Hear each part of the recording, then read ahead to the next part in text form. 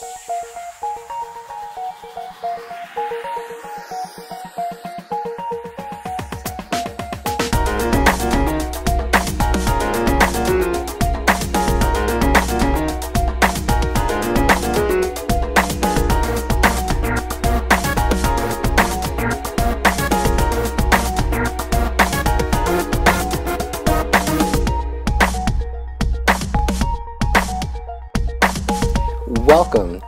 Legitimate Matters. I'm your host, William Parris. I think it's an understatement to say that this country is extremely divided. I would go so far as to say that it's absolutely fragment, fragmented, and the things that are taking that are taking place in high positions within the government trickle right down to our communities. One thing that we're fighting against is regentrification and displacement of those of us that have lived in certain communities for years. And now through rezoning and all kinds of laws that are, that are being passed, we're being moved outside of our, away from our homes. Well, today my guest is Carmen Vega Rivera. And Carmen is a CASA leader. And for those of you that don't know, CASA is the Community Action for Safe Apartments. Carmen, welcome to the show. Thank you.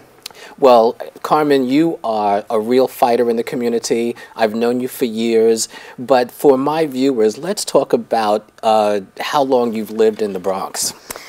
Um, I came to the Bronx in 1979 to mm -hmm. work for the Bronx Museum of the Arts. I'm originally from Lower Manhattan, mm -hmm. but I actually moved 36 years ago to the Bronx. So I've been living in the same building, same complex for 36 years.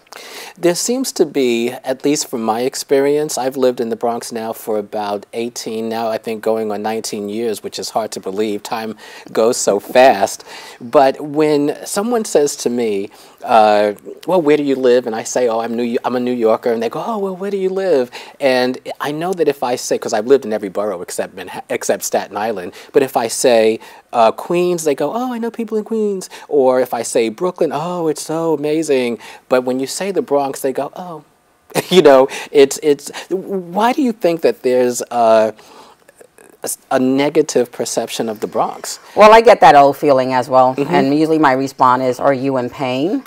um, because I don't know what else. But you know right. that that um, oh or that um, question of you know why are you living in the Bronx mm -hmm. comes from the perception right that people have created um, about the Bronx, and there were some real things happening in the Bronx. So when people say the Bronx was burning, that mm -hmm. we were mm-hmm. burning the Bronx, that's a fallacy. The Bronx okay. was burning. But it was the landlords burning the Bronx for insurance purposes. Okay. And to wow. displace people because there was a flight in uh, the 70s when buildings, you know, complexes like co-op cities uh, were built and people right. were leaving. And so when they left to Long Island, mm -hmm. Westchester, mm -hmm. there was a flight of people that were living in the Bronx. And landlords didn't feel like they were going to be able to get the rent money or rent their complex. And so what they did was when uh, people of color started to move to the Bronx mm -hmm. is that they their option was to burn their building down for insurance purpose. And so that flight. And don't forget that the Bronx with other uh, communities was also a red line. And when you redline a community, basically what you're saying is let's disinvest and let's let disinvest in that community. So there were no mm -hmm. investments wow. coming into the community. And when you disinvest and landlords are burning buildings, you're taking away hospitals, mm -hmm. fire uh, uh, houses. Okay. You were taking away services you were taking away basic services from sanitation, policing, and though, you know, redlining was not only happening in New York City, redlining was happening throughout the United States. This is a nationwide problem. And it still is. Yeah, right? a nationwide problem.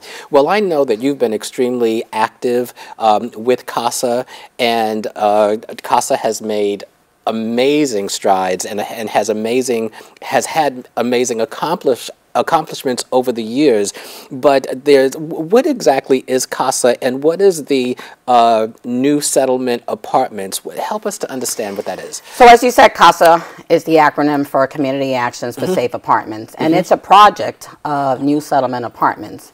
And new settlement apartment basically 20 plus years ago took buildings that were burned by the landlords, a whole uh, community in the southwest Bronx, Townsend Avenue, Marcy, um, Avenue, and they rebuilt these homes. So it's a it's a CDC, a Community Development Corporation, where they took buildings that were no longer being utilized, burnt. I mean, there was nothing. There were shells. That's There amazing. photos. Wow. And they rebuilt these complexes, and basically they allowed folks who, I believe it was a third and a third, a third that were homeless, a third low income, and a third um, low to middle income. Um, and, they're subs- and some apartments are subsidized. New Settlement is the overarching um, nonprofit. Okay, all right. And CASA is a project of New Settlement. I see. Such as they also have an after school program, they have a college access, they have a parent action. So in that umbrella, you have other project projects within that nonprofit. I now I completely understand. So, can you give us three examples of what is called collective action? Sure. So CASA's mission is to safeguard and protect affordable housing through collective action. And collective action, CASA exists because CASA has tenants as members. You are a CASA member as soon as you set foot or participate in any CASA event or activity, workshop, or meeting. So right now we have three um, campaigns that are very active. We've had other campaigns. The uh, act, uh, the first campaign that we've been having since um, 2012, which we released a report in March of 2013 called "Tipping the Scale," was reforming housing court. Okay. I don't know if you've ever experienced housing court, but um, I've had the pleasure of visiting housing court multiple times, being taken to court by my landlord for non-payment, meaning that you're not making repairs, you're refusing to make repairs, I'm going to withhold my rent and I'm not going to pay you. And so I've been taken to court. In addition, I've sued my landlord, which is called a housing part, because he's failed to make that repair. So we, as tenants, came together in 2012 and said, there's something wrong with housing court. Absolutely. And we voted for this campaign. And there were lots of things going wrong because many of us had experienced, um, you know, the situation when you go to housing court. And it doesn't matter when you, you know, who you are when you go to housing court. It doesn't matter in terms of your race, your social economics. It doesn't matter your ethnicity. When you go to housing court, you are stripped of your dignity. Well, Right? Well, I.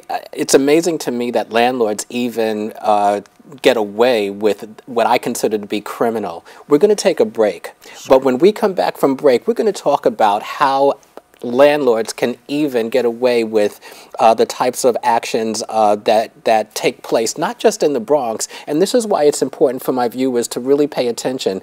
This is not the Bronx. We're using the Bronx as an example of what's happening across the country. Stay with us. We'll be right back. Legitimate Matters. I'm a retired school psychologist, and helping people was my thing. I was very independent and thought I could take care of myself.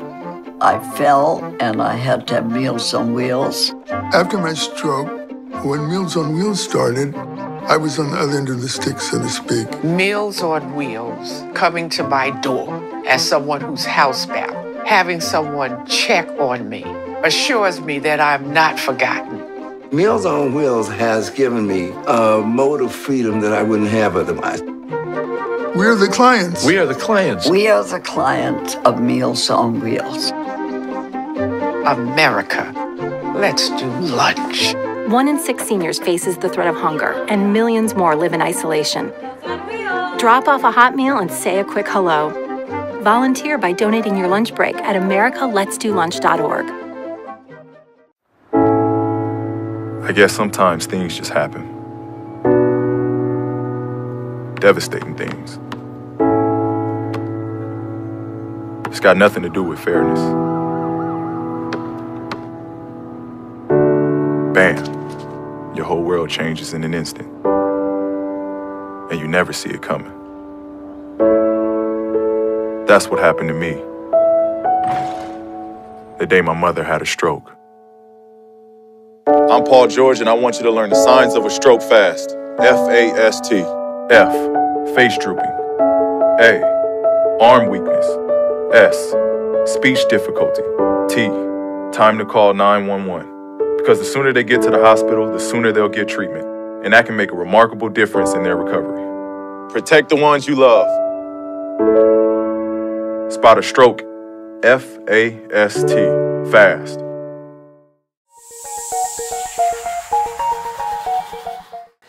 Welcome back to Legitimate Matters. This is your host, William Parris. I'm here today with Carmen Vega Rivera from CASA, the Community Action for Safe Apartments. Uh, just before we went to break, Carmen, we were talking about what I consider to be criminal acts of negligence by landlords not just in the Bronx, but throughout America. My question is how do the landlords even get away with neglect that results in unsafe housing, um, just falling, buildings that are falling apart? It, it just escapes me. Tell me about that. So, although there's systems and procedures in mm -hmm. place, for instance, in New York City, mm -hmm. if you have a complaint with your building, whether it's maintenance, repairs, you can call 311. And then they would dispatch somebody from HPD, Housing Preservation mm -hmm. Development, or perhaps somebody from the Department of Buildings, DOB. But the reality is that they issue violations if they actually see that there is a violation. For instance, mm -hmm. if you have no heat and hot water, there are laws regulating the heat and hot law in New York City with regards to how much heat, at what periods during the day, at same as, as night. But if you call an HPD on Monday and HPD doesn't come until Thursday, the temperature may have changed. Of course. Right? So it's catch me if you can, when you can, if you can ever get me at all.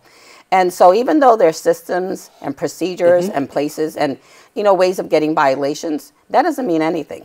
Because, you, and for instance, in my building, we had 587 violations. That's which, amazing. And that's just HPD. Mm. We're not talking Department of Buildings. Right. And that was the tenants calling 311 and complaining about no heat and hot water, many repairs, elevators not working, uh, weatherization issues. And violation was given after violation after violation. But those violations then get negotiated in housing court with a judge. For instance, there was a situation once, and I had to testify against the number of violations and the dollar amount associated with those violations. And what happened? That amount was huge. And then all of a sudden, HPD's attorney is there with the landlord's attorney, and you're waiting to testify. And they're in front of the judge, and the judge says, "Go work it out. Go work it out. Go is work go, it out. Go figure out a number that works for both parties that you can both agree to." What happens to the third party, the tenant, me, and my neighbors, is we get lost. So there are these negotiations that happen right in front of the judge.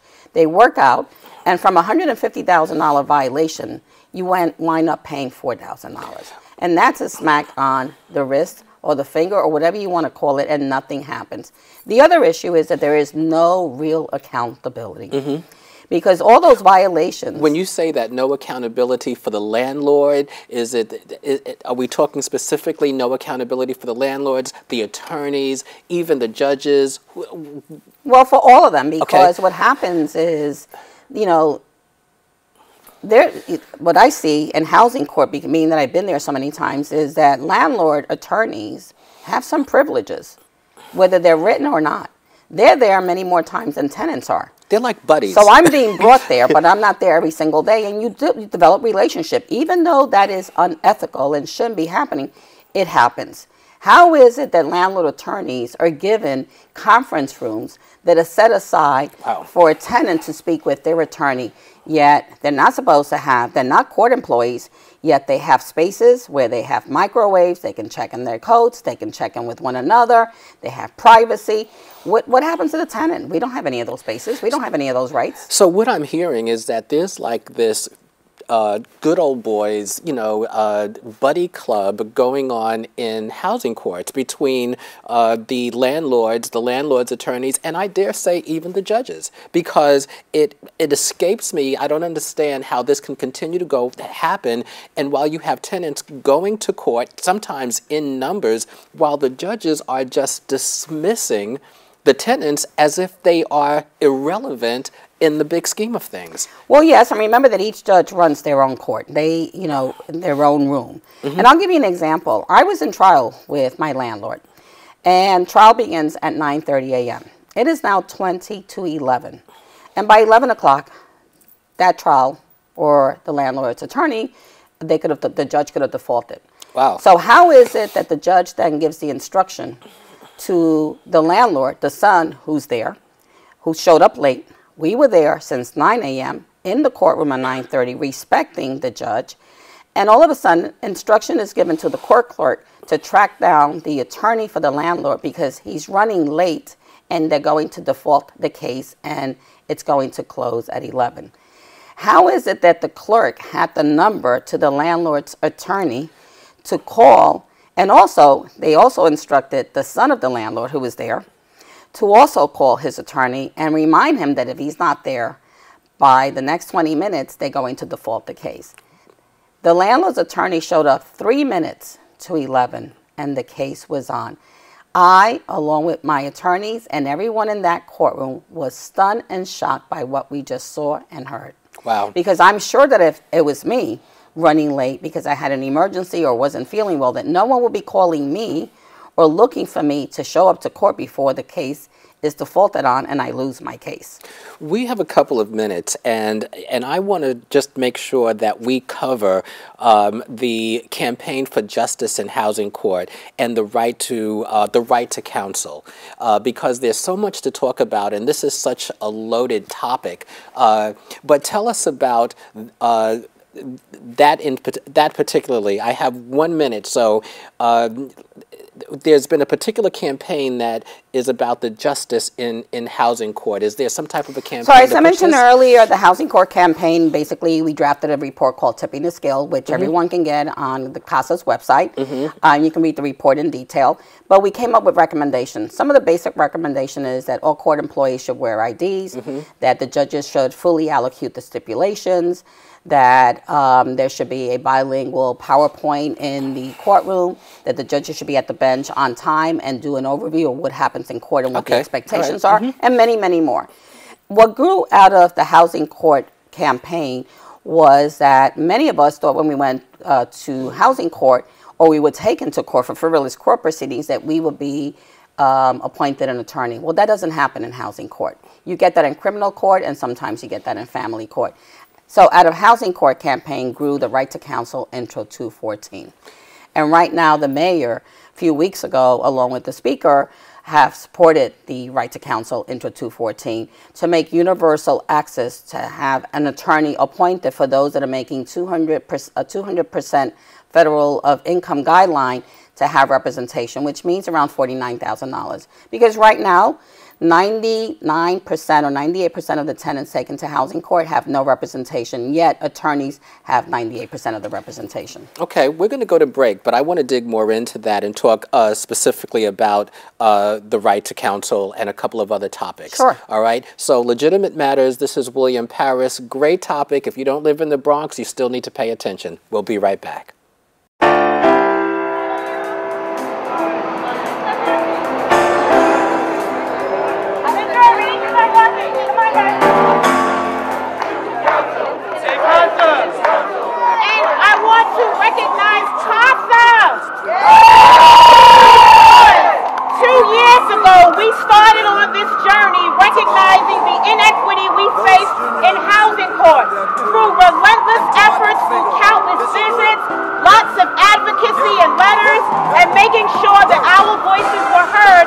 Afternoon. My name is Carmen Vega Rivera. 36 years ago, I moved to the Southwest Bronx thinking I was moving up working for the Bronx Museum of the Arts. I had a wonderful landlord then, and a few years later they passed, and the receivership was given to the existing landlord. I have been in court with this landlord and fighting him for 20 years, but he took me to court when I started to enforce and ask for my rights since I was paying for rent. Some of those basic rights were heat and hot water, elevator service, cleanliness, building maintenance, building repairs, and individual apartment repairs, none which have ever been implemented or taken care of. They were actually unresponsive. I just want to say how excited I am to be here as someone who is not from New York City. This is a beautiful day, an exciting day, and the eyes of this nation are on New York City.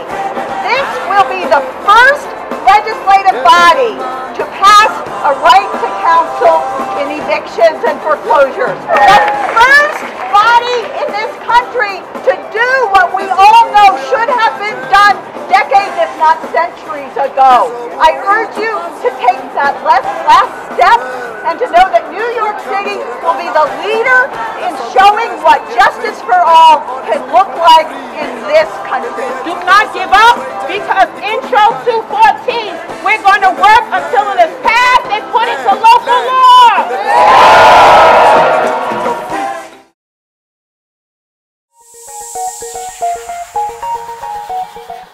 back to Legitimate Matters. This is your host, William Parris. I'm having a great conversation today with my guest, Carmen Vega Rivera from CASA. And uh, before we went to break, we were talking about the right to counsel in housing court. A huge accomplishment, Carmen. Congratulations. Thank you, thank you. And I understand that the right to counsel is the first that had is the first legislation, not just in the Bronx, but in America. Is that right? That's exactly right. We will be the first, and so the mayor, obviously, you know, being that he's running for office again, picked a really Okay. good one um, to support the right, to counsel. And don't forget, the right to counsel is citywide. Okay. And so this is huge. We've been fighting for this for the past two years. Had a lot of support, 43 council members. Okay. It was sponsored by Mark Levine from Inwood, Washington Heights area, along with our own city council member, Vanessa Gibson. And you also had a week. Uh, CASA spent a whole week where um, there were uh, community people that went to City Hall and the chamber um, and, and, and, and filled the chamber rather with, with uh, to capacity. And it was seven hours of testimonies, I understand. It was a full day. I actually was one of the MCs along with uh, City Council member Mark Levine. Vanessa, our city owned, you know, city council person, but Vanessa was there. Many other city council members that supported the bill were presenting. We then testified inside the chamber. Um, I was one of the folks that testified along with other neighbors, uh, labor, and other folks about the importance of the right to counsel. Just imagine going into housing court and not having any re- representation by an Wow. attorney. This is a big that deal. increases displacement because what happens is, in most cases, the tenant loses. They're pro se. And when you lose, you start going into the next step, which is the eviction process. Wow, wow. Now, you mentioned uh, Vanessa uh, Gibson, who in District 16 in the Bronx is the is she's a council member. Yes, she is. So, so what is her role? And she represents Community Planning Board 4, which is my community planning board. And her role is to um, listen and represent the interests of her constituents.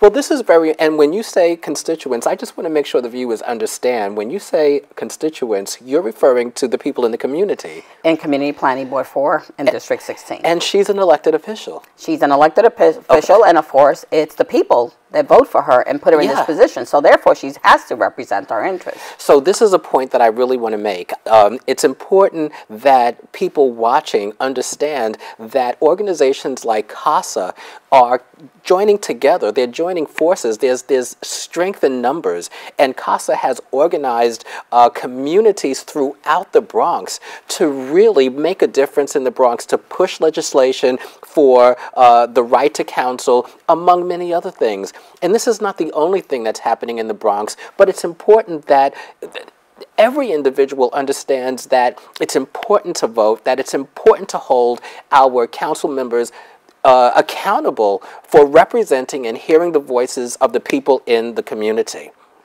Exactly so. And through CASA's work, we do it through collective action.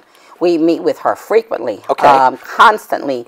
We are telling her what the concerns are. We're coming with our platforms. We're coming with our demands. We're coming with our recommendations. And we feed her the information so that she owns it. Because if she doesn't own it, she's not going to have an understanding of what is it that we want, or and she's not able to represent our needs when she's there in city council fighting. For instance, she we've been meeting with her constantly, not only for the right uh, with, with the issue of the right to uh, counsel with Intro 214, but the rezoning. The rezoning in the Southwest Bronx, which is 73 blocks from 167 to 184th and a half mile radius, it is Vanessa Gibson, along with the other city council member and community planning board five, Fernando Cabrera, but Gibson's community has the majority that's going to have to say about what happens in the Southwest Bronx. Wow. We, the tenants, we, the community, we, the labor, we, the small businesses, the auto workers, have to let, her let her know, as well as Cabrera, what is it we want and what is it that we don't want. And we have to do that collectively. In action by deciding what's in the best interest of this community. We know it. We live there. We eat there. We shop there. Mm-hmm. And she's representing our needs. And if you don't do it and you're not meeting with her and you're not sharing with her and you're not demanding and you're not putting her feet to the fire and holding her accountable, right. then you're not going to get what you want. Now, very quickly, I want to talk about the the responsibility of every individual, regardless of what community you live in. What action should you be taking? Who should you be reaching out to? Because CASA is organized, but there are so many people in various communities with, throughout the country. They don't really know who do I who do I call? What is the first step? I'm having a problem in my building. What do I do? Well, I can't answer for everybody, but mm-hmm. I'm sure that, mm-hmm. you know, in government is structured in a particular way. Whether you're calling the operator, whether you're calling 411, you have to understand how government is structured. Mm-hmm. Locally, when I ask folks, do you know what community planning board you live in? They go, what's that? Right, they don't even know. They don't know. So they you have know. to start with the basics. So you start with what community planning board do you live in? What district do you live in? Right. Do you know that you're in the, the poorest congressional district? No, I didn't know. You need to know who your city council is. Mm-hmm. You need to know who your senator is. You know, you need to know who your assembly folks are. You need to know who your congressman is. And in our community, sometimes people don't know. And it's up to us to take that first step. And all of this information is available online. Online, or sometimes in, in New York City, you can call 401 and get help and seek who are the elected officials in your district. And start by getting one phone number. Okay. Start by getting one address. And start by visiting because that's going to lead you to the next person, to the next person, and to the next person. And then start collecting the data.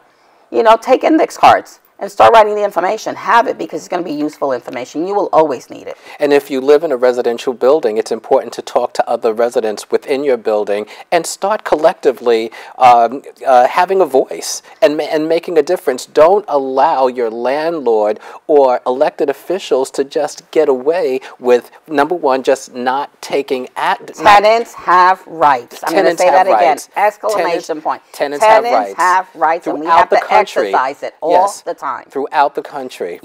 Throughout the entire United States. Well, Carmen, thank you so much for being here. It's been a pleasure speaking to you. You are a wealth of information. Thank you so much. Thank you for having me. William. Thank you so much for watching Legitimate Matters. I'm your host, William Parris. Please remember to tune in on Sunday evenings at 11 p.m. on, on uh, Cablevision's BronxNet Channel 68. Thank you so much for watching.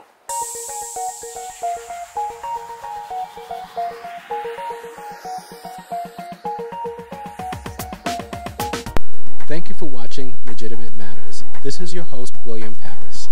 I want to thank my guest this week, CASA leader Carmen Vega Rivera. For more information on legitimate matters and upcoming shows, follow me on facebook.com slash legitimate matters or my YouTube channel, Legitimate Matters, or email me at wparis at legitimatematters.com. Thanks for watching.